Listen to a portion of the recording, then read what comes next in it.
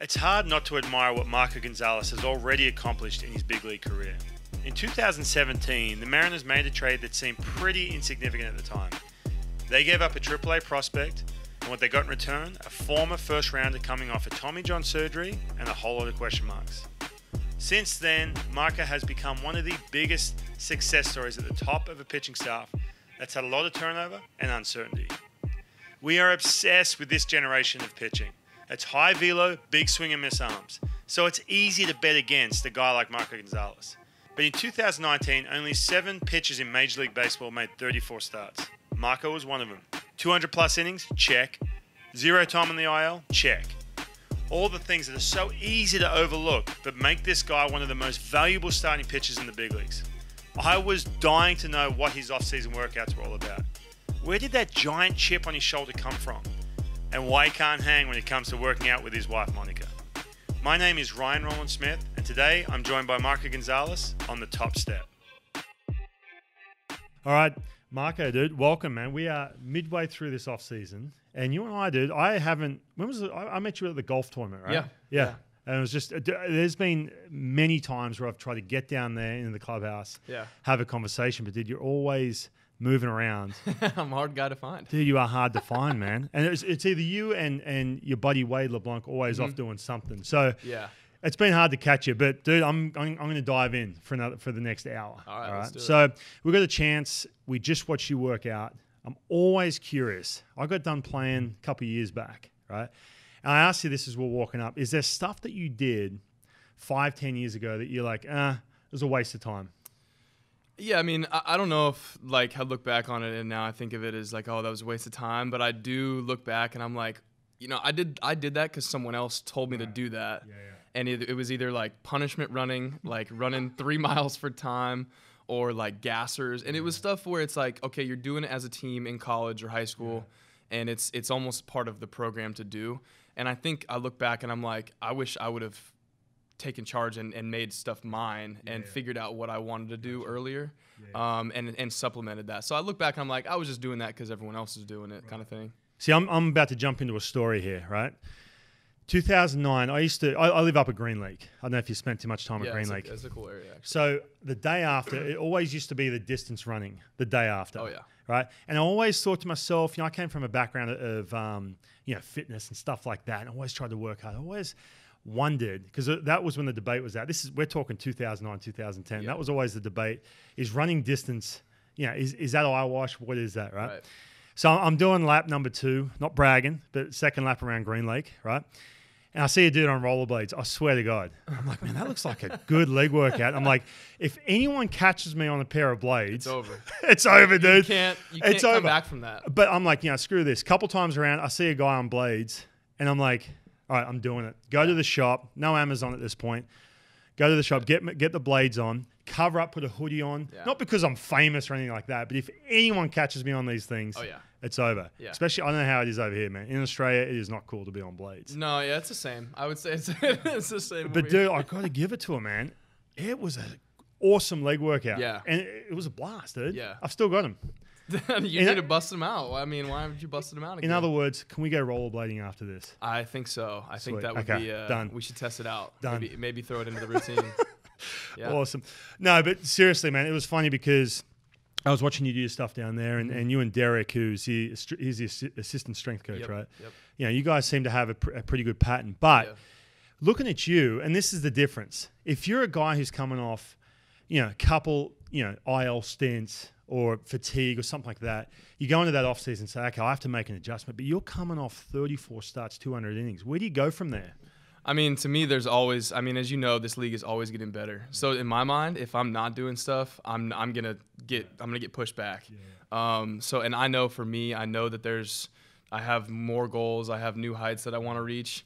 And I mean, to be honest, it's just it's just the constant push. It's the constant. Uh, you know, motivator is someone else is out there getting better. So I mean, there's guys all around the world, you know, out there working out right now and doing their thing, and um, I'm just trying to trying to do my part. Right. And you you said something down there too. You said you want to be a pioneer and you want to try and you know continue to evolve as a pitcher. Yeah. What about like now? I was just down at the winter meetings. And I feel like baseball is there's just been an absolute avalanche of third party you know, whether it's biomechanics, you know, the weighted ball stuff is just taken over in Yeah. the last couple of years, where it's just become normal. I started doing, you know, weighted ball stuff, um, you know, eight years ago, and it helped. Don't get me Yeah. wrong. I mean, it was a huge benefit.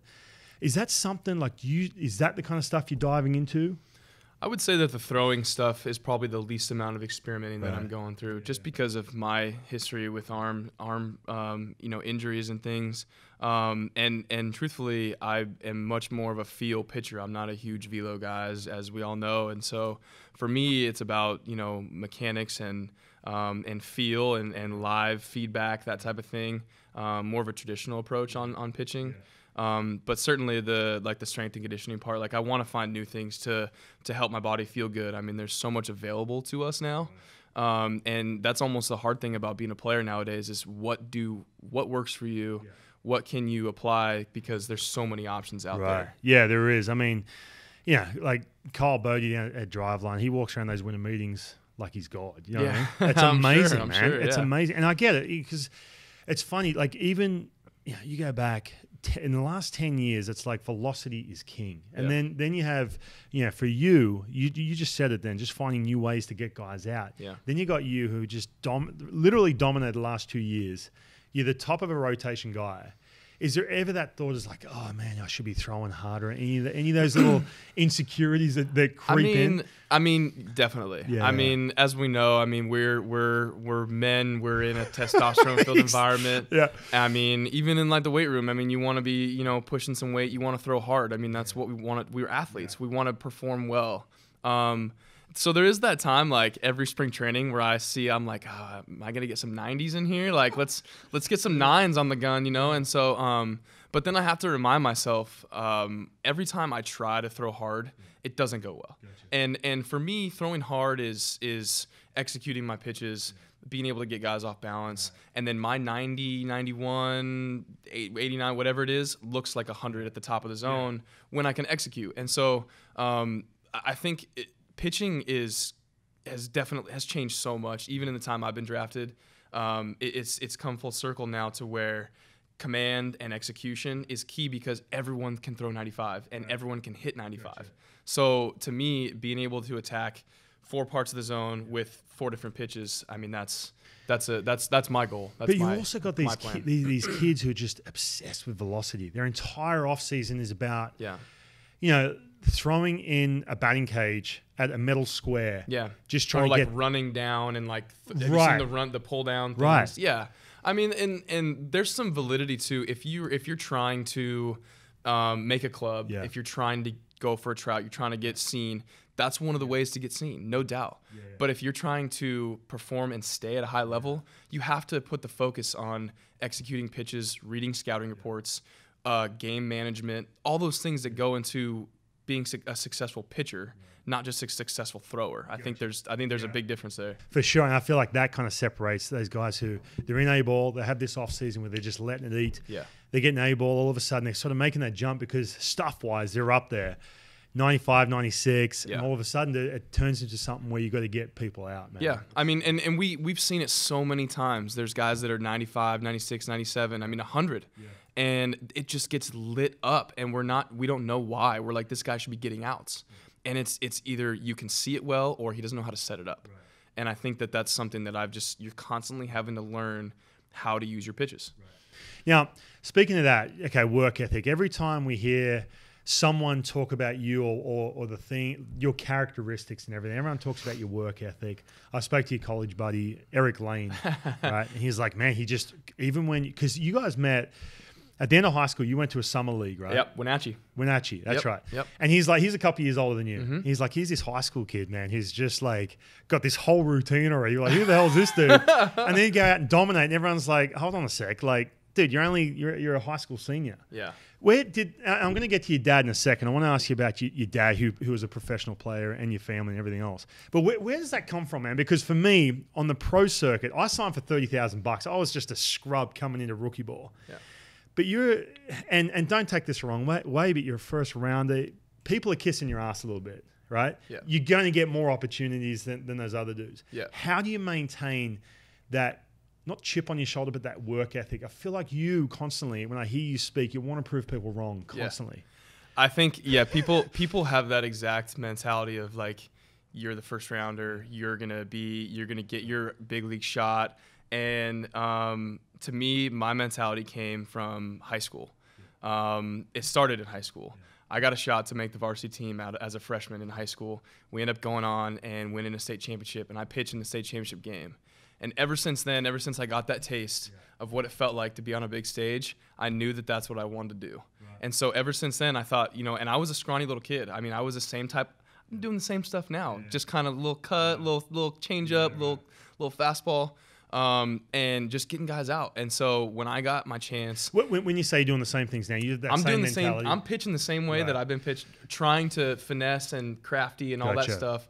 Um, so after high school, when I got when I'm getting recruited by colleges, um, I went to Gonzaga because I wanted to impact a program. I knew that going there, I mean, no, I hadn't, I hadn't, I didn't know where Gonzaga was, truthfully, to be honest. And now, obviously, I'm a proud alum, I'm a proud Zag, but I went there to pitch against those big schools that we play to show them that I could still get guys out because I wasn't getting recruited by those schools. R- so, so okay, even even all right, okay, and I'm, I'm I'm about to get to that in a second. Yeah. So Gonzaga, I mean, you yeah, you're a big deal, man. And I don't want to make it seem like Gonzaga was like my fallback. Gonzaga no, was no. my choice because Gotcha. that was the best choice for so, me. so you didn't have the options to go to those big schools. I was getting recruited, but I wasn't on their radar be- simply because I didn't have 90. I was a smaller left-handed pitcher, and I wanted to play first base. So Gonzaga was going to ah, give me that shot, and they offered me a full ride scholarship. So I'm like, let's go. do you, do you in. feel like do you feel like you know the two way thing? Do you feel like they were legitimately saying, "Look, man, you're going to be a two way guy in the middle of the lineup," or was it? A situation where they're like, hey, you you can have a crack at that playing first base as well. We want you as a pitcher, but oh, if you want to be a two way, like that was a recruiting. It was both. They Yeah, wanted okay. me to come in and, and play both right away. Wow, And man. they knew that I was gonna. They told me I was to be ready to be a weekend starter and to play first base or outfield or wherever. So So, so you had even back then in high school, because I get the impression, you know, you're because you got drafted out of high school pretty late yeah, thirtieth round. for the Rockies. Yep, and uh, that was a that not not a courtesy pick, I would say, but I, I wasn't expecting expecting get, to get drafted. And to be honest, I mean, I had the pitch ability that I that I that people saw, but the projection, the the sexiness, the velo, it, I didn't have that. And throughout college, that's the kind of pitcher that I was, and I wanted to get guys out because of that. And so ever since then, and then when I became a first rounder, um, it was because I could figure out I figured out how to get everybody out and execute pitches, com- competitiveness, um, those types of things that just I, I felt made me the pitcher that I am. I knew that that's what made me great. I'm, I'm going to be honest, man. I thought you had every like five, six different options, and I- you were the dude. To be honest, I had a couple options. Okay. Um, but Gonzaga, like where? Like Gonzaga? Where else? um, San Diego, Okay. um, lot, a couple California schools, um, UNC in in Colorado. Um, were, were there schools that you're like, oh, I really want to go there? When, when all of a sudden you're like, oh man, you know, I, I want to go on and play college baseball, play in Yeah. the big leagues, U- and that, that U were basically, eh, you don't throw hard enough. University of Arizona. What were some of the was, comments Was then? my The was knock- my was my big pick, and uh, and it was it was a school that was like I thought was really cool Yeah. in high school, um, and I it was close to home somewhat in Colorado, you know, and um, I, I showed interest and I got nothing back, so I was like, all right, well, moving on. So Did did you? But th- was there ever like, eh, sorry, you don't throw hard enough, or you're not good yeah, enough? of I mean there was there was I, I still remember. Um, this was funny because you know we have scouts coming in, you know, sitting in our living room at home with my parents and me and talking to me, and there was times where I remember saying, "Hey, give us a call when you put a nine on the gun, like give us a call." man. And so I was like, "All right, uh, sure, I will. I'll do Yeah. that." And uh, I ended up, you know, topping out at 87, 88 in high school and going to Gonzaga. And I think, like you said, the first rounder thing, um, when I got drafted and when I went to the Cardinals, I got a lot of that feedback from my teammates, from coaches. Everybody's, oh, you're the first round, you're the first rounder. To me, I wanted to prove that that, that they were wrong about me. That they that I wasn't that type of kid. I wasn't that type of person that was going to walk around with my chest out saying, So "I'm the first that. rounder." So there was still that um, what do you call it? That feel of entitlement that you felt like they were just giving you automatically. I felt like people gave me that that I didn't I didn't want that. Right. I felt like I didn't want because I saw how people talked about first rounders and I talked about how they're entitled and they had privilege and everything. I didn't come from that. I got myself to college. I wasn't going to go to college unless I had an athletic scholarship. So going to college was first step. Once I got there, um, and getting drafted, I felt like I had earned everything that I had. Did you feel the pressure of being a first rounder though in the organization? Um, Like you had to live up. I felt like I had a responsibility to represent myself and show that I was worth that. Gotcha. So I wanted to show that I also wasn't the type of kid to just Yeah. expect it Right. too. That's interesting, man. So you went from a guy who really wasn't recruited heavily, right, to going Gonzaga and didn't get you didn't get off to a great start. You you were playing as a freshman. A lot of guys Yeah. go to school not Yeah. as a freshman; they don't quite get to play. Yeah. But you you were basically were you the dude as a freshman? I played right away. Yeah, right. Um, I was a Friday, Saturday. Sun- we kind of mixed in on the weekends. I was a weekend starter. Um, I mean, my second game in college was at Texas A&M, throwing against Michael Wacha um, on Saturday, and uh, you know, playing first base every other day. So it, it was. I hit the ground running right away. Yeah, right. Yeah. And so at that point, you were basically just on that beeline to be like, okay, high round pick. I yeah, but the thing is, is I loved playing at Gonzaga. Yeah. So to me, it wasn't let's get to the next level. It's I'm having a blast here. I love, I loved, I wanted to come back. I used that as I was like, I'm, I might come back for my senior year because I love, I love Gonzaga so Yeah, much. gotcha. Yeah. Okay, that's interesting, man. I, I honestly thought before we sat down that it was this thing where you know your dad played professionally, and I'm going to dive into that Yeah. towards the end of this. But you're you're this kid who is a stud, right, out of high school, and you can go to you have five different options, big time schools.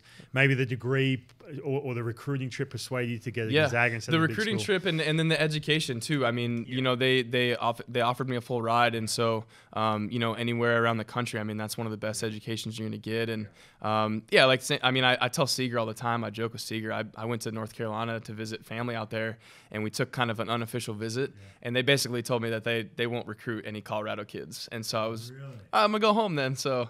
It was uh yeah, coach. We sat down with Coach Fox, and uh, he showed me the list of the roster, and it was like North Carolina, North Carolina, North Carolina kid, you know, all that. He's like, we don't recruit the West Coast, and so, um, you know, I, I just I in Colorado baseball, you have to leave the state Gotcha. if you Okay. want to go play. So So, g- moving ahead, I want to talk about two. Th- you made your debut in 2014, Yeah. right, with the Cardinals. Now, this is where I thought, and okay, we're going to get to the injury part in a second, right? But you make your debut in 2014, okay? You're a first rounder. You, you pretty much fly through the minor leagues. You go up to the big leagues. You have a, what three starts before you get sent down. Doesn't go great. Mm-hmm. yeah, You go back down. If you can go back, and I don't want to put you in this spot because you're you know a couple of years removed from Yeah. you know being one of the one of the dudes in the big leagues. Once you got sent down after that three starts, did doubt start to creep in at all? I think it did. I think um, so, and I also got called up from Double A. So I was one of the kids that you know I was uh, uh, the prospect coming up, and you know once we had a guy get hurt in the big leagues, boom, right up from Double A. When I got sent down, I went to Triple A. So I'm coming back and playing with some older guys who are like, man, this kid, this It's squad. this this prospect coming in, this tw- this I was I was 22, and so this prospect coming back from the big leagues, like he's gonna be, you know. So I got a lot of that right away. Um, fortunately, I kind of I started to make friends with guys. I'm like, hey, I'm not. Don't worry. Like I'm not. You know, I'm I'm trying to be. You know, I'm trying to help the team win here. And um, but there was some doubt. There was some there was some doubt of you know, could I ever be pitching up there? What is it going to take? And and am I ever going to be that type of pitcher? And so that definitely, you know, that that first taste, um, if it doesn't go well, and for most it doesn't. Um, I, I think there's some serious thoughts of like, how what do I do to get back there, or could I? Am I even good enough to be there? So Some long nights, dude. yeah, Oh man, and absolutely. you mentioned it too. on the bus. Yeah, Go, go on to AAA. You go back to AAA. Like I, I started here in AAA, went up.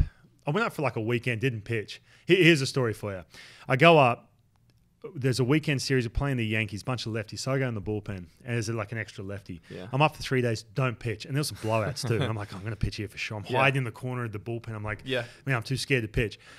the Monday rolls around, an off day, I get a phone call, boom, I'm going back to AAA. I'm like, that's going to be my story. I'm going to be that dude telling kids, I got to the big leagues. Yeah. Well, no, you didn't. I, I can't look at your stats. I'm like, no, I was there. I just Yeah. didn't pitch. Yeah. It was creepy, man. I went back to AAA, and you're right. You're around all that bitterness. Yeah. Guys who have Salty- bit, the salty squad. The salty squad. Yeah, yeah. And nothing against it. I get Yeah. it because man, no, I've we've been there. I, I've been I've been Man, bitter in, in yeah. AAA before. Yeah. I mean, it's just it, it's a combination of you are on the doorstep and you're doing everything you can and you're playing at great competition and it's every day still, but you're not doing it here, and so it feels like you should be. See, I thought this chip on your shoulder. Now, when you first came, and and, and tell and correct me if I'm wrong here.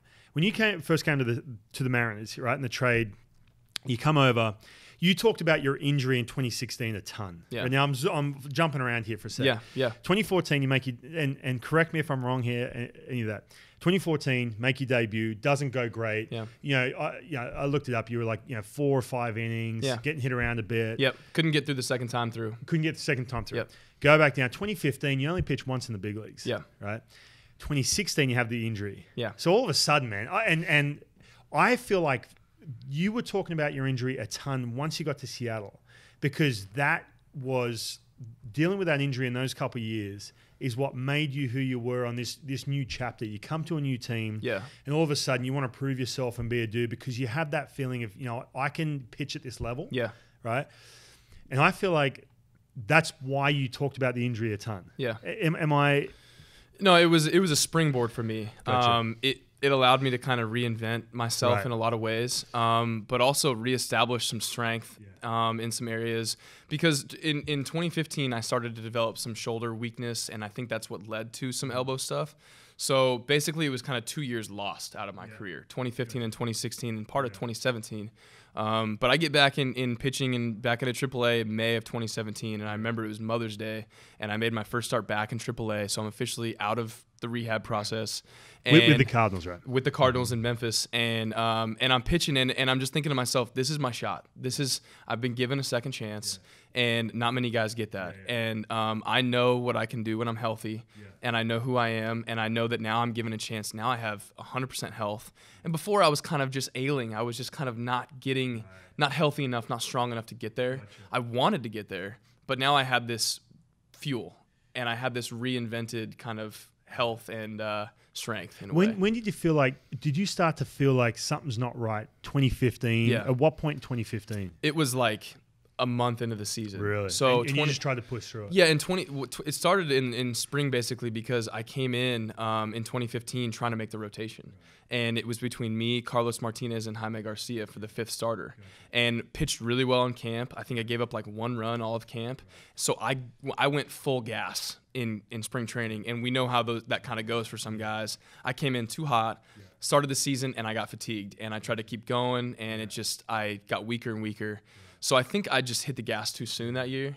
Um, but going into 2017, I think that's why it came up so much, is because all of a sudden it was like I was back into what I was doing before three years prior. So you, know? didn't go into 20. You didn't go into into 2017 thinking like you're a first rounder. You've you've let people down. It wasn't like that. It was more of a. I've, I've had time to decompress. Yeah. I feel like I'm healthy right Yeah. now. Did you ever worry about oh this elbow is not going to be the same? No. Did you deal with velocity? Like did you come out rehabbing and all of a sudden you, you're pumping 83?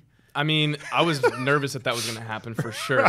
I was nervous that I was going to be low 80s, but you know what? Like I thought, screw it. If I if I come out doing that, I'm still going to try to get guys out. I'm still gonna I'm still gonna have my my command and everything. Um, but my velo was actually better that year. I came out, I was 92, 93, 94. Um, and I've been, you know, 90s since then, low 90s or whatever. But um, no, I think it was more like the pressure was off because I wasn't the first rounder prospect anymore. I was a guy who came back from from an injury. So to me, I had more to prove to myself than I did to anyone else. Gotcha. And that little, it's amazing. That radar gun can give you that testosterone boost. Oh, can't it? yeah. You hit. Uh, hey, look, man. I, I was a dude. I was never pumping u- upper nineties. I'll tell you right now. I signed. I was trying eighty five. I'm like, I just scratch and claw to get, to Yeah. get a ninety. Yeah. But when you start seeing some 92s, 93s, all of a sudden it just changes. And you start attacking guys and Yeah. everything else. But you, you're, you're right though, man. If you're trying to throw too hard, it can take you out for Yeah, sure. and I, I think a good fastball is just a mentality. Right. I, to me, I think um, we got a lot of guys that, that they want to throw inside, they want to throw up in the Yeah. zone, and I think for me, having a, an attack mentality is the best kind of fastball Yeah, that yeah. you can have Right. because your your your body will follow your mindset. Yeah. So for me, when I think about attacking, if I go in with 89, I'm going to go in hard with 89. Right. I'm not going to soft it, put Yeah, it yeah. in there. Yeah. Um, so I think it's all mindset. And tell me if this is true or not. I read this. Mike Matheny said that you, and now this is, I think this is pre analytics because I want to ask you about how you kind of deal with analytics and stuff like that. Yeah. He said to you, and you can completely say this is completely false. you have to start throwing a cut, a, a cut fastball, Yeah. a cutter. Is Yeah. that true? So he he kind of he showed because so Mike's a former catcher. Yep. Um, and he would catch some bullpens in spring training, and he was one of the guys that Look at him. showed me where to throw my cutter that it would be effective. And he said, "You you need to have something that gets guys off of that fastball that you can get inside on righties, go away to lefties, that sort of thing." I didn't have a slider, so I think that was kind of the pitch that I had developed in college to be able to use. Okay, so you were throwing that thing back in college. I was throwing it a little bit, but not if not knowing what I was doing with it. with that, if someone tells you, especially you got like Mike Matheny or whoever, says it suggests, uh, does that see for me in, in 2010, I, I sucked, man. I was terrible. And going into spring training, I was coming off a really good year in 2009. And in spring training, they're like, hey, we want you to start throwing a, cu- a cut fastball. Yeah. I could never throw hard enough, dude. It was like Yeah. 82, 83. So Yeah. there I am in spring training. In my mind, subconsciously, I'm thinking, well, my fastball's not good enough Yeah. inside part of the plate. Yeah. So then all of a sudden you start doubting that fastball. All of a sudden I, I pitched away from contact. Right. Was it ever that? Like I think so. I think Yeah. I think I definitely ran into that, and I think my first stint in the big leagues was all that. It was I don't want to get hit. I don't want I don't want to find a barrel, and I think it wasn't until I came here um, late in 2017. I think I came out of the pen against here against Oakland, and I thought to myself, why am I why am I doing this? I've never done this in my life. Right. I've never Amazing, been this guy. But all of a sudden, you get here and you get in a big stadium and you're facing guys you've never faced before, and all of a sudden you get a little tight and you start trying to place things and you run away from contact. And it wasn't until I I, I dropped that and I've I've started going after people mm-hmm. that I, I started attacking more, and that's that's what's made me the pitcher that I am. Yeah, right. Well, because I, I love talking about you on air. I love talking about you know your cutter and how in because you come over here and the whole thing with you. I don't know if you read this stuff or not, but multiple times through the lineup. Oh, this dude, you know, you come over in a, in a, in a trade. It wasn't a Yeah. huge trade at the time, and Yeah. I'm about to read you some of the quotes too when you came over. Not from me, from other people. I want to, I want to, you know, I want to bounce this off you, but. But for me, it was it was the the the cutter was the separator Mm-hmm. for me, man. When you started throwing that thing, 2018, game over. yeah, yeah. Do you feel the same? I mean, it was that because sure. Mm-hmm. everyone talks about your changeup, and I get it, man. It was plus pitch. I was talking to your college buddies. They're like, dude, we'd throw sim games, and that changeup was filthy. yeah. But for, for Yeah. me, man, that, that cutter was just com- complete game changer. Yeah, it's allowed me to open up the zone, and it's allowed me to pitch. It, it's made my fastball better because I can use it more, and I feel more confident because now you can't sit fastball, and it looks four seam out of my hand. So if you're gonna sit four seam, then I know exactly, and I can tell when guys are doing it too. So um, for me to go back door, go inside, go front door to lefties, go away to lefties. I mean, there's so many uses to it that I feel like it's been so it's been fun because it's just been it's it's allowed me to have this fun weapon to experiment with. Has anyone, you know, from when you started throwing it again in the big leagues, because you you weren't throwing it so much. You talked about because the injury, right? Yeah. You were a little bit worried. Yeah. Was yeah, it- I gave myself a little time because Right. I didn't know how my forearm would do with it. Was there anyone from when you started throwing it again that said, "Hey, try this grip, try that"? Especially to because the hardest thing for me throwing Yeah. that cut fastball was was that little back door, like Yeah. throwing on both sides of the plate. Right. No, not That's to not to hard, not get around it. And Yeah. Try to, yeah. Um. No, I credit uh actually credit Lance Lynn for my cutter grip. Wow. Um. So Lance, I wish we had a ball, but Lance basically grip a four seam and you just turn it, so that now when you pull down. Yeah. It's shooting out of your hand this way to the inside. Right, So this middle finger's up against the seam, and when you you're not twisting, you're not doing anything, you're just pulling down. Gotcha. And the ball is offset, so it comes out at that angle. Right. And basically, that was what gives the true four seam spin, but it's just angled turning this way. And then when I when I think of you know going back door, I just think, okay, I'm gonna drive to that spot. I'm not gonna get around it. And you just got to trust it's going to come back. Sometimes it's like one of the, the boomerang. You just got to trust it's going to come back. okay, all right. You know, yeah. Yeah, all right. Hey, there's some there's some trust in there, yeah, man. there you go. Yeah, the old boomerang. I got one in the backpack. I, I don't have a baseball, but I Yeah. got a boomerang. We're gonna right. gonna throw that thing around. You like, yeah, you like that? I threw that in Yeah, there. no, I, I love it too. It's, it's that easy just to backdoor that cutter. By the way, it is the hardest thing to do is to just go, oh yeah, I'm just going to backdoor that cut Yeah, fastball because yeah. that's a pitch that you. It's all about extension, right? So Right. anything on this side of the plate, you're so used to getting that extension. All of a sudden, for me, backdooring that thing, you Yeah. take a little bit off, and it just becomes a, a well, if you, if you tr- if you try to pull pull across, Right. um, you're gonna yank it, or you're just gonna it's gonna spin outside. I mean, it's gonna cement the cement mixer to the to the arm side. If you see one of those, you might see me. Damn, dang it! Like Yeah. So it's but Yeah. you know I, I would say you know as far as making pitches the the two two three two backdoor frozen take on a backdoor cutter is like my the most amazing feeling on the mound just to That gets the get, chest get the out. strikeout, I and you're like, it. ha, Yeah, I got- got That's you. awesome. Yeah. Now, speaking of Matheny, right? And I want to talk about, you know, we talked about um, him talking to you about a cut fastball. And this is, Yeah. I, I don't think this is coming from a Rapsodo machine and iPad or like that. Mike, no, no, Mike- no. He was catching me and saying, Gotcha. yeah, yeah, yeah, yeah. So that's just straight eyeball test. For sure. Okay. Yeah. So Mike Matheny, I read just recently, he went to an analytics class, like an online analytics class or something like that, Mm-hmm. Sure. right? I was just down to winter meetings, and obviously analytics is a huge part of the game, Yeah. right? But one thing that I want to ask you as a player, what is the process with during the season, spring training, does someone come to you with an iPad and say, "Hey, you do this good, you don't do that"? Because there's got to be that trust element too. Yeah. Uh, This information, like, well, this is like my third best, third best pitch. Yeah. From that that feel standpoint or that Yeah. confidence standpoint. Now you're telling me to throw this with two strikes. Yeah. So what's tell me the process? How much do you use analytics? So I I use it when I want to fine tune something. Um, you know, and spring training is the perfect time because we're still building up strength. Um, you're making those adjustments. You know, you have a little bit more um, relaxed game setting to be able to work on things. So those are great times at bullpens. Um, you know, they're standing out there with iPads, and you know, I I think I've developed a relationship with with uh, some of our staff. You know, I'll, they know when I want things. They know that they don't want to they don't want to drown me with numbers. I want a couple things here and there that I can use to make a pitch better, and you got to be able to translate it to me. You got to be able to tell me, hey, like this is what this is. And DeLunas does a great job of that too. He's he's a good translator for the data to the personal side, the pitching side, because you tell a guy, hey, this is your RPMs and this is this, and it's like, how do I use that? What do I? And I think that's the stigma for most guys, and especially older guys in the game, is tell me how to use it because when I'm out on the mound, I'm not thinking about spin rate. I'm thinking about getting the guy out. So it can't. At the end of the day, analytics can't be just the numbers. It has to be the application of it and what you do. And how you tr- and how you talk about it. I mean, it has to be there has to be a, an intention behind it. Did you find things out about yourself and like when the numbers come out, do they say, "Hey, man, dude, Yeah. your fastball."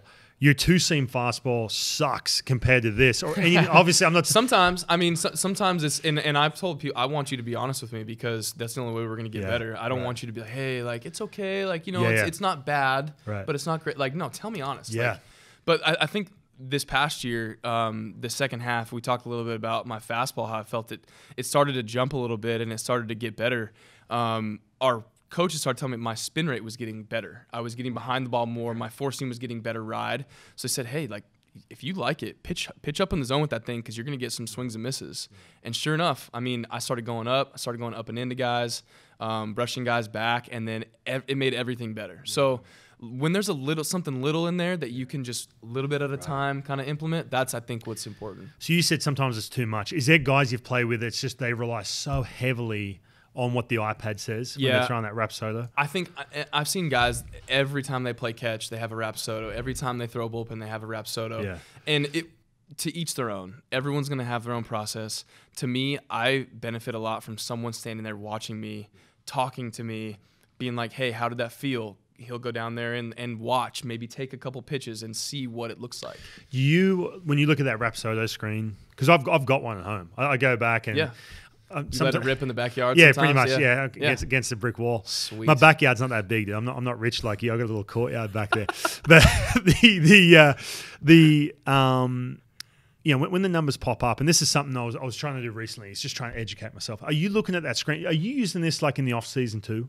Are you looking at that screen and, and do you understand these what the numbers are? Or Not so much. Right. No. Um. I'm. that's, My, that's kind of a healthy balance, right? Yeah, because you don't want to be getting stuck into these numbers, like you said. Right. And I, I want to know how my body feels. I want to be I think it's really important um, you know, in, to be in here in the big leagues and to stay here. I think it's really important to know how your body feels and to be aware and, and to to have uh, take, you know, ownership of that. And I think if you're always relying on a screen to tell you how you feel and how your stuff's doing, you got to know because you got to make adjustments out of the mound by your by yourself. You're not going to have an iPad out there. So for me, I, I like to start basic, and then in spring training, we start to implement some things. Have you have you ever, you know, coached guys, teammates, Yeah. younger guys, and said, "Hey, man, look, I'm seeing this, I'm seeing that." Yeah. I think I think that's a big role for me. Yeah. Um, and with the history, um, with you know my dad being a, a pitcher, I mean that's what he that's how he raised me. You know, coaching, talking, being able to communicate during a bullpen, um, being able to feel and watch pitches and things like that. So um, I know that I can really help younger guys coming up, and I think that I, especially with even with guys like Yusei, I mean guys who he you know just transitioning over here and, and being able to develop a good routine and and you know take what people are saying and be able to use it because he has so many voices in his you know going on at one time. And um, you know being that guy for him to be like hey what what's going on? Talk to me. Like let's figure it out. When Sheffield comes up when Dunn comes up when all these new guys come up um, I need to be that guy that's okay let's let's figure out a let's slow it down let's figure out what you got let's go from there Yeah, it's amazing, man. I mean, you look around youth baseball, especially. I mean, I don't know if you if you pay attention to any of that. I mean, but literally, if a 16 year old kid, mom and dad, they have to go to some facility and they have to have the gizmos. yeah You know, and sometimes, man, I go back to Australia and I'm coaching kids, and a kid comes up and says, "Hey, what was my spin rate?" I'm like, "Dude, you've got a thousand things we want to get done first, right?" Gosh, yeah. So if you okay, yeah it's so let- different it's so different Oh yeah, you know oh, it's it's crazy, and I mean, look, you, you guys don't have kids, right? no no not yet. All right, so let's go. Let's go 25 years down the track, right? Your son. I, I- don't want to do this because, dude, you, you're killing it right now. I don't want you to have to think about the future or anything like that. But you got a 16 year old son. He's Okay. six foot four, just a just absolute Adonis. Looks like me. Matter of Wow. fact, I'm jealous actually. yeah, it's He's not Marco 6'4". Jr. It's Ryan Gonzales. You've named him after me. Wow. But he's just an absolute stud. All of a sudden, he goes to this facility, and there's just the gizmos. You know, Yeah. like I'm talking the K vest and the whole thing. When you're coaching him, it's way more important, right?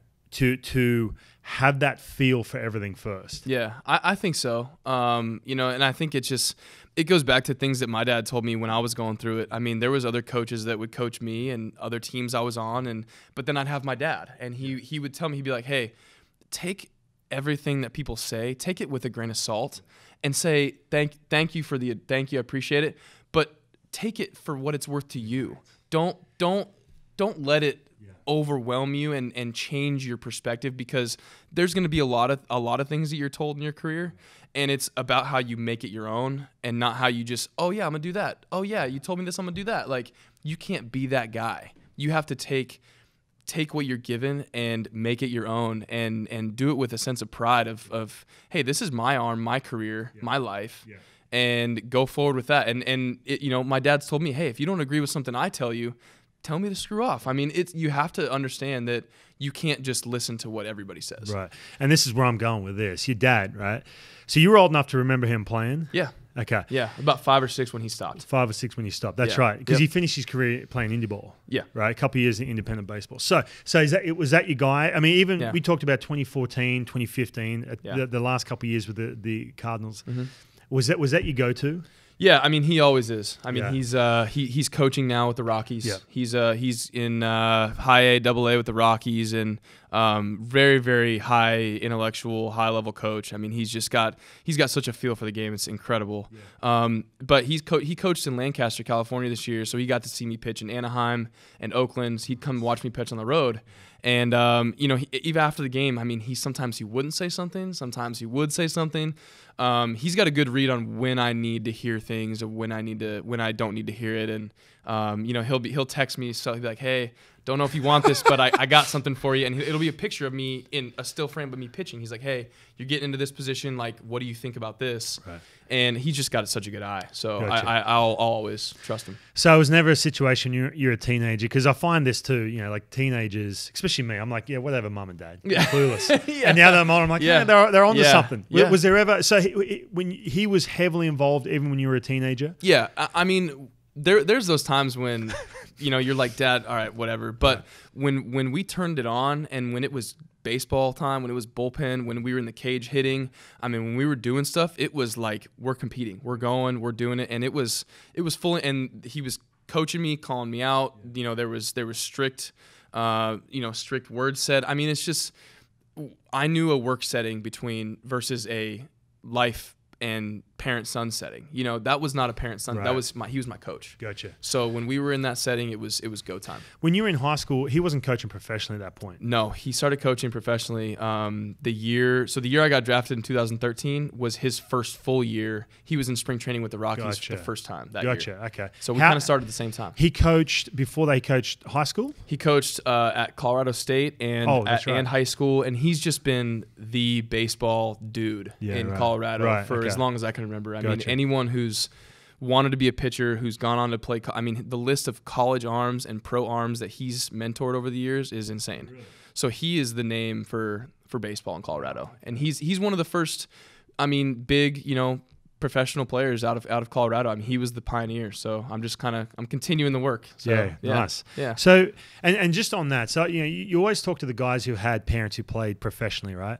And you know, the kids who grow up in, in a major league clubhouse. Yeah. And this is what I want to ask. So you were old enough to watch him play um, in the Atlantic League, right? Yeah. Do you remember those days? I remember running around like a little crazy man. Yeah. Um, I remember sitting in the stands with my mom, um, eating pizza. I don't remember the specifics of every game, but I do know I've heard stories and I used to be able to, you know, imitate everyone's swing. I used to be I, I was out on the field taking BP, running around, um, you know, showering in the clubhouse. Like I just my dad told me I was just a I was a I was a regular, you know, I was just a, a I, I knew the I knew the ropes at a young age. So And, and your your dad obviously sounds like he was one of these guys who just loved the game. yeah. So like once Still you does. yeah okay so Yeah. so because I always ask this I'm around guys who they never played in the big leagues they Mm-hmm. played minor league baseball so there's that resentment towards towards professional baseball ah it's too hard or, or they they start to rub off that well you know I didn't make it to the big leagues or whatever there's that that ego involved obviously your dad didn't have any of that kind of stuff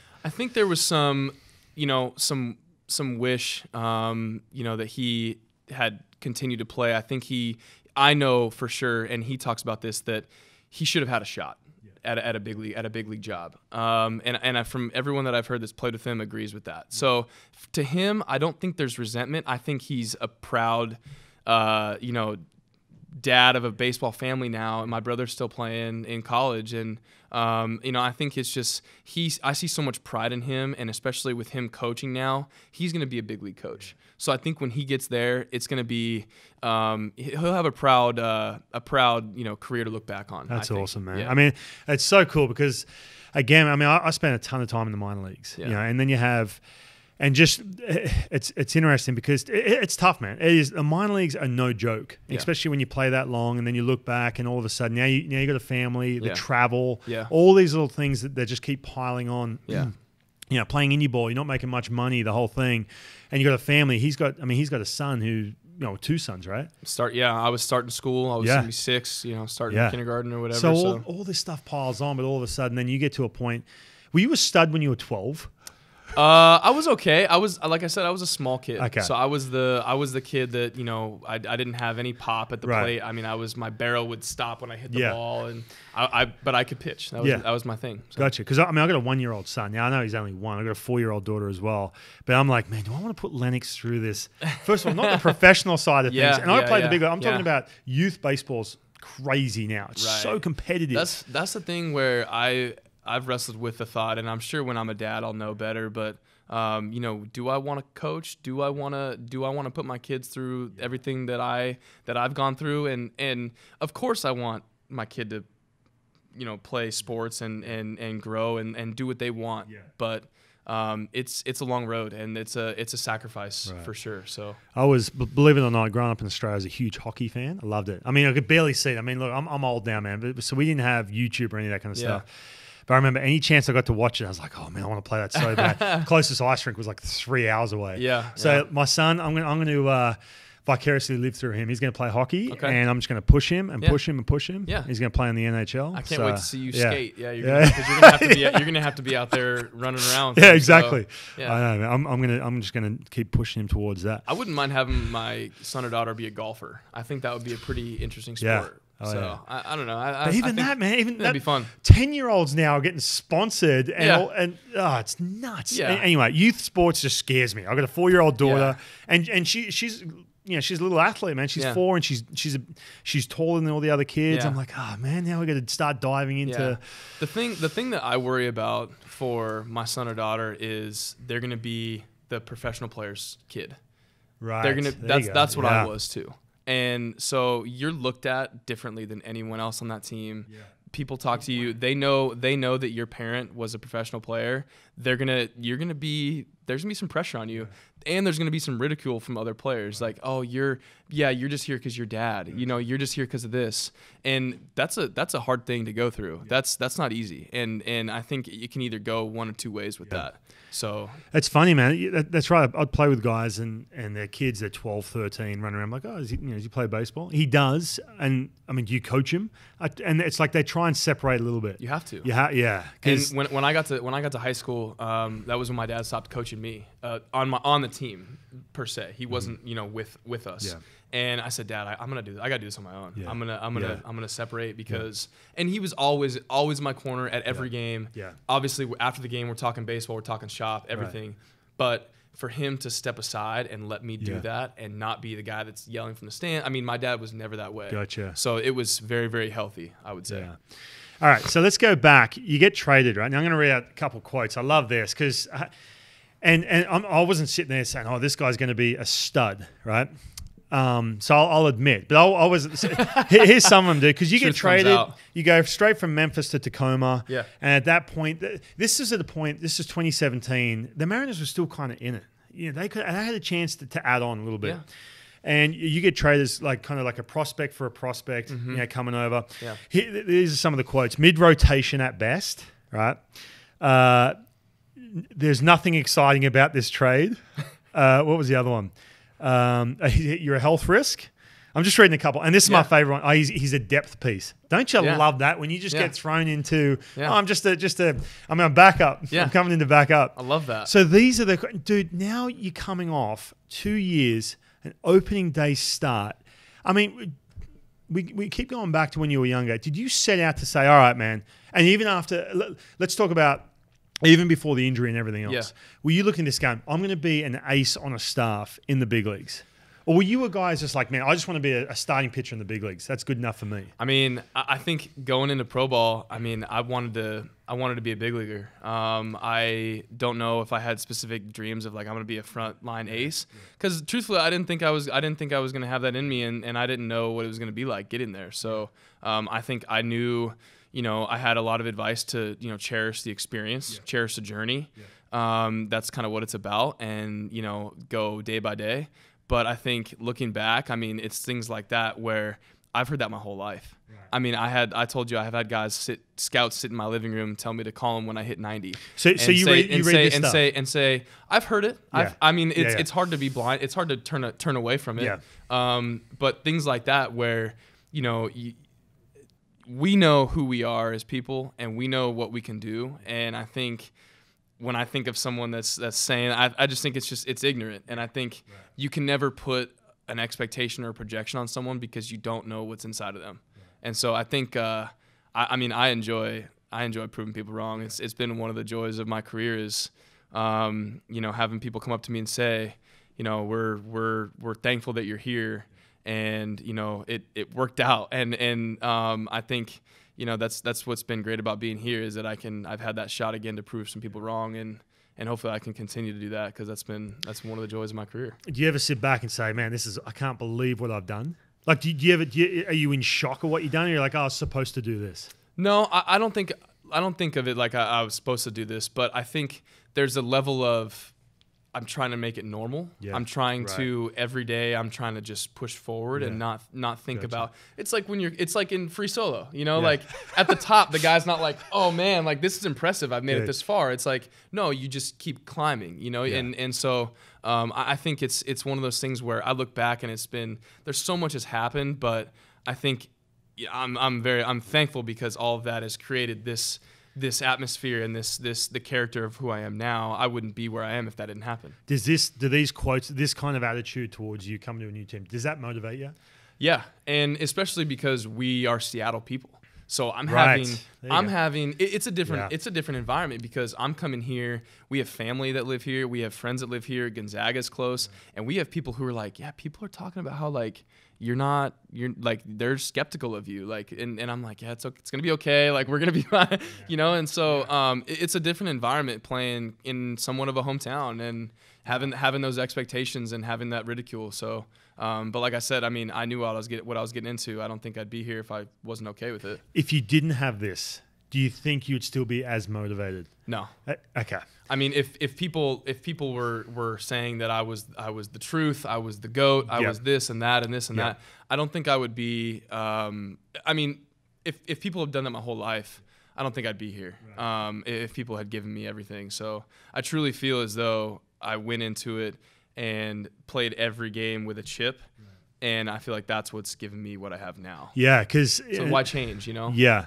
because there's been times, man. I mean, going back to when I was playing, or even now, like trying to do things I'm trying to do now. It's like if if everyone tells me, "Oh, yeah, you're really good at this or that," I'm, I'll just kind of sit back, and not, Yeah. not that I get lazy, but I'm like, "Oh, I'm good." Yeah. And all of a sudden, you get complacent, and Yeah. it starts to plateau. Yeah. So you feel like you constantly need. So you know, if you're out there on Twitter, make sure you you blow him up. Yeah, I, I All right. think I think too. Like when I- I'm re- I'm really bad at accepting compliments and praise. Yeah, I'm, I'm really bad at that. Um, and so when I have family and things like that, say, "Oh, you had a great year," Yeah. it almost like shuts me down, and I almost want to say, you know, like thank you, but like I'm not done yet. Like we're still going. You know, we're still have more things to do, and so I think.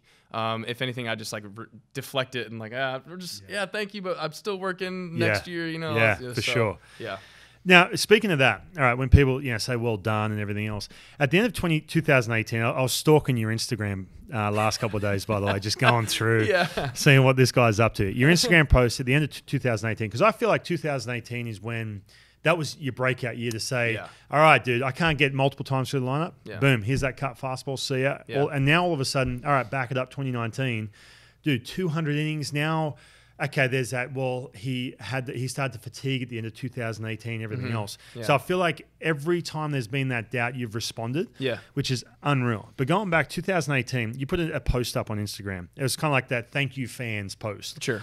You had a picture of you pitching, a picture with Ichiro, and then Yeah. you had y- y- your boyfriend Wade LeBlanc, right? Who you're going to miss, aren't you? 2020. I'm gonna miss him dearly. Yeah. I already do. Yeah. Yeah, I, I don't blame you, dude. You Yeah. got to have those guys, man. In so great, man. He's such a great friend. You had yeah. a picture of Mike Zunino, Mm-hmm. and then I think it was was it Monica's family, your wife's family. Yep. yep. Yeah. Could have been. I don't know if you remember Yeah. or not. I'll have to look back on it. Yeah. So when you when you, when you put this, and I don't want to, to dissect this too much, but when you're putting this thing together, are is that selective putting these photos up? Trying to. I mean, it's it's a big post. I know it sounds Yeah. ridiculous, but you're kind of like saying thank you. You've just come off a year of 2017. You, Yeah. you probably left 2017. You weren't too happy with it. Sure. You know, you want to prove yourself. 2018, you just um, kill it, right? And you're a dude now. Mm-hmm. Yeah. Get- about to go into be the opening day starter. So, is there any kind of method behind that?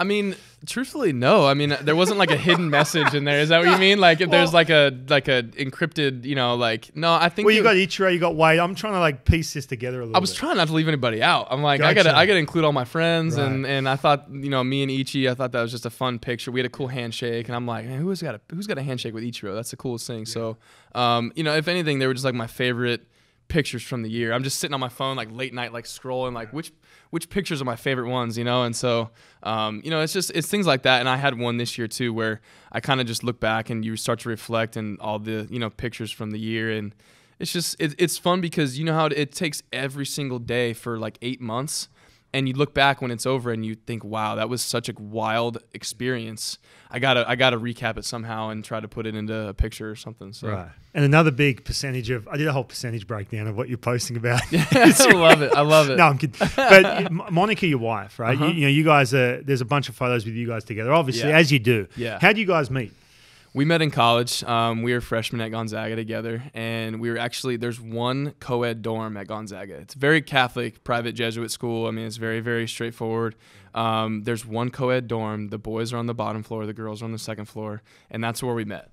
Um, we had mutual friends, and and we ended up just like the first month of college, ended up running into each other, and she she was I, I was I was into I was like head over heels right away. Like I was she's just like drop dead gorgeous. Like I was like I this girl is amazing. And uh, so I, I pursued her and, and asked her out a couple times and she's kind of playing hard to get and kind of didn't want to date a baseball player kind of thing. So Were you you got the Zags gear on right now? Were you walking around with the Zags, the team backpack, walking around, No, hopefully, no, hopefully no, no, walking no, past the thing and Yeah, no, I, I, I was, I was That's I trying. I'm like trying. They had a, we had a meeting like first day of practice. Like, don't be that guy wearing your baseball stuff around campus. Like, don't be the the clown that's you know ro- repping. But um, I was trying not to be that. But uh, no, she she knew that I was a baseball player, and um, she just she was unsure. And and uh, and it wasn't until the spring we went on a kind of a formal date, and um, we kind of started dating at that. And so we never looked back. We're just we've been together since. So yeah, it's been great. and you know it makes it easy too when when you've got you know a sounding board or someone Right.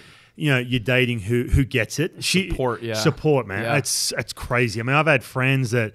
You know, marriage is just they just don't happen because there's Yeah. just a complete this one. Yeah. Especially when you when you get done playing too. Yep. If you guys can't connect, Yeah. she's a personal trainer. Yeah. Right. And you were telling me on the elevator up on the way up here, you, you tried to do her orange theory class, but you kicked your ass. yeah. You couldn't cope. Well, so she knows what buttons to push for me. Uh, she knows that I'm like a huge competitor. So like in the class, I'm running on the treadmill, like feeling pretty good, and it's like okay, push pace. Like you push it, you go faster. She walks by, I'm like putting it up. She walks by and pushes it up like three ticks more. So I'm like, what are you doing? I'm like, try, I'm like falling off the treadmill, and uh, and then we get on the rowing machine, and I'm like, okay, it's like a I hate the it's, rower, it's like a minute It's long. kryptonite It- for me. yeah, it kicks my ass.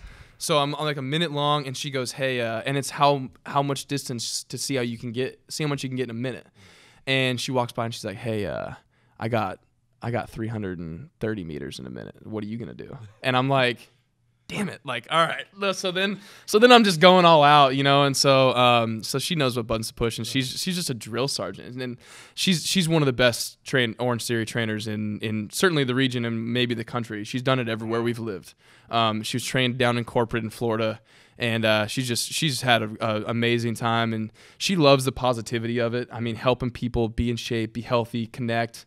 That's the best part about it. Yeah, and and then I mean, you know, obviously we talk about your work ethic and the off season working out. We just came Yeah. off your workout, but all Yeah. those little things, you know, nutrition, having a partner that uh, Oh, yeah. you guys can, you know, to work out together. If it is getting generic, now I know you're Yeah. a no show Orange Theory after that one session, but at the same time, man, it, it just makes a huge difference, right? Yeah, this uh, this off season we've uh, we furnished a gym in our house, and so we kind of have like a mini Orange Theory in our house now. Wow. So it's like it, it's become like an addiction. It's ridiculous, but I mean, we make you know smoothies. We eat really clean. Um, she's super big on nutrition, and and um, so having that support, and I think.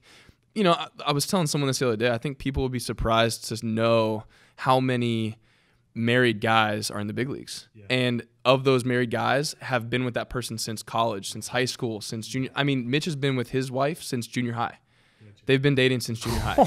It 14-year-old Mitch, by the way, is classic. Like How- gotta- they meet? You got to look up they went to they were in school together. He was just hitting high. tanks in junior high. Yeah, just, just hitting bombs. he's and just a she's stud. Yeah, but Yeah. um, no, but Mitch and Mitch, like Mitch and Amanda. That's I mean, amazing. It's just Wow. there's like one or two maybe single guys on a team, and I think nowadays with the minor leagues, with social media, with the pressures of today, I think you're people are overlooking how having a significant other through that actually benefits you to stay focused, to not be going out, to not be doing stuff you shouldn't be doing, and to have that support system through it. I think is one of the reasons why I'm here.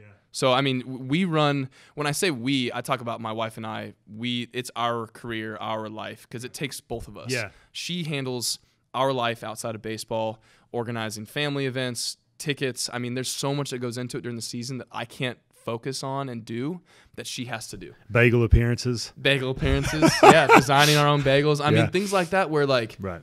we wouldn't be able to do that if we weren't both in fully invested. Where'd she grow up? Did she grow up She grew up in Redmond. Redmond. Okay. yeah. Ah, so easy, She's man. Easy girl. transition. Because I was going to ask you, is this a place, the Northwest? Do you think you'll stay here after your career? I mean, Yeah. Whether you stay with the Mariners or you go on, is this a place that you feel like, oh, man, I want to, I want to Yeah. settle down here? Yeah, I think um, we had decided that shortly after we got married in Uh. 2015. So this was two years before I even got traded. We decided we were going to live in Seattle. We were going to be close to her family. Yeah. Um, we were going to have kids here. We're going to hopefully buy a house here someday.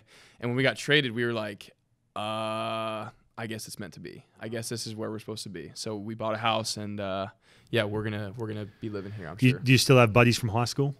Yeah, I have buddies from high school. Um, you know, uh, the group that I was kind of friends with, we kind of dispersed. We were a bunch of baseball players, kind of went our own way. Um, but I get to see them throughout the year. I get to see all my Gonzaga buddies throughout the year. Um, so it's it's just it's been a good. You know, having that community is always good. Yeah, you and, and the reason I ask that is I have, and this is going to sound sad, but my only group of friends, now not my only group of friends, but I'm still buddies with my with high school friends back in Australia, and they've kind of like you know all split, but we have a group chat, Yeah. right, where we just go back and forth. Now you guys have a group chat with guys who play at Gonzaga. We do, right? yeah. that's right. Eric I heard about all it? about it. I've got screenshots. Oh, you see the stuff I'm going to post. No, Oh, I'm kidding. I'm joking. No, no, he, he didn't get that no, far. no. We got to lock those down. No, no, no. There was none of that. He, he just said, he goes, hey, man, we've been on the same group chat. There's like 10 of us. I was like, Yeah. whoa, whoa, whoa. Ho- Yeah. ho- slow up a second. A group chat? Yeah. No, I thought that was cool. Man. Yeah, we um, it- it's funny. I, I we joke because we look at all these athletes who are saying crazy things on Twitter, and I'm like, hey, just just get a group chat with your friends and say it there. You know, like Yeah. that, do it there. You know, like say Yeah. say ridiculous things in the chat. But we've we've been friends and played fantasy football for. Uh, going on like eight nine years now, so it's been it's been great. Yeah. Now, look, you- you're flying out of here this afternoon. Yeah. You're going to watch the Zags play North Carolina tomorrow Right. night. Yeah, big game. Okay. huge, biggest game to ever come to Gonzaga, I think. So. And then after that, you you go where are you you going to? You got an anniversary coming up? Yeah, um, our wedding anniversary is on Thursday, so my wife was gracious enough to start the trip with some Zags basketball. Wow. And uh, and then our What anniversary is on Thursday, so we're driving to Leavenworth. Well, she's a for- Zag, so that's all right. She's she's There good with go. it. We Yeah, see, time. I'm getting waved right now. Your agent, your publicist standing behind these these cameras are waving me off right All now right. to tell me you got to get moving. But dude, dude, this has been a blast, man. Hopefully we can do it again. Yeah, it was it was fun to dive in and and uh, share some stories. That was Yeah. awesome. So thanks Awesome. for having me. Cheers, man. Thank you. Cheers. Thanks, brother. Appreciate it.